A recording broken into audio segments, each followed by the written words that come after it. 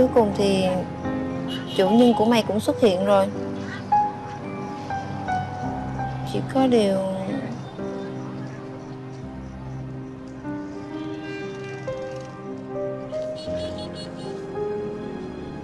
Em chỉ hỏi anh đúng một câu thôi Cây đàn này là của anh Phải không? Không Ừ, Anh nhìn kỹ lại đi được không? Đây nè Có khắc chữ A nè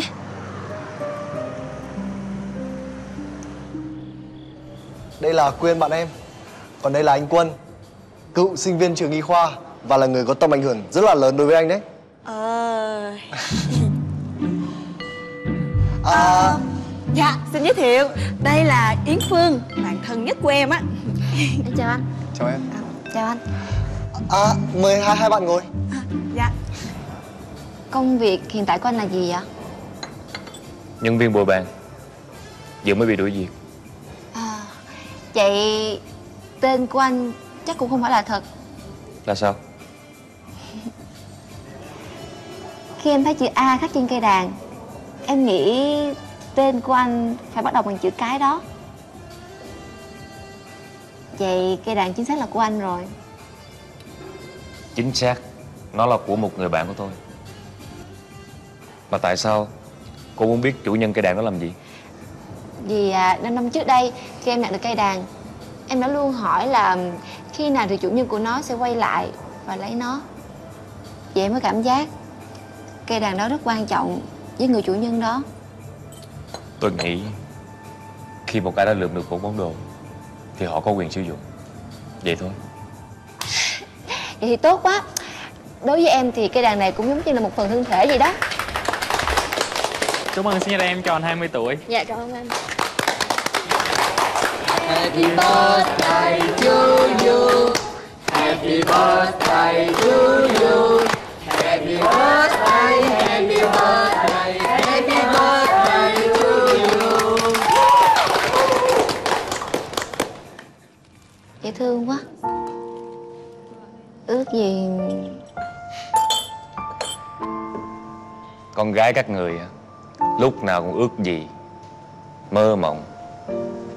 Thừa biết là ước gì mơ mộng Sẽ không thành hiện thực mà. Anh không thấy là 20 tuổi Rất đáng được mơ ước Và rất đẹp sao? Tôi thấy đó là mơ mộng hão huyền đó chứ. Vậy cái anh 20 tuổi Anh có ước mơ không? Hoàn toàn không. Không có luôn hả? Tôi đã nói rồi Tôi không muốn tốn nhiều thời gian vào những ước mơ mơ mộng hão huyền đó. Em thì nghĩ khác Khi mình có ước mơ Và có sự cố gắng Thì ước mơ đó Sẽ trở thành hiện thực. Rồi cũng sẽ nhận lấy thử thất bại mà thôi. Anh chưa thử sao anh dám khẳng định ha? Vậy thôi Cơm đủ ăn Áo đủ mặc Vậy là vui lắm rồi. Không dám mơ mộng hão huyền. Mà tại sao?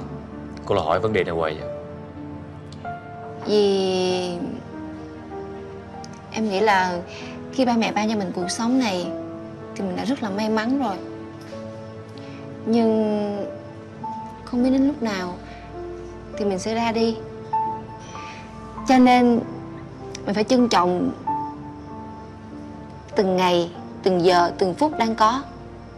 Phải sống cho thật ý nghĩa. Đó là em nghĩ. Sống nay chết mai Bận tâm làm gì? Chỉ có những cái người mà vô dụng mới nghĩ là mình không đáng sống và cuộc sống này không đáng trân trọng thôi.